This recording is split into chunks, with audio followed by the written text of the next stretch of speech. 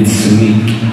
And I've been wondering if after all these years you'd like to meet to over everything. They say the time's supposed to heal you, but I ain't done much healing.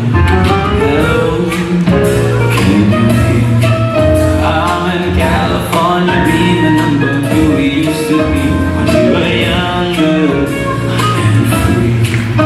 I've forgotten how it felt before the world.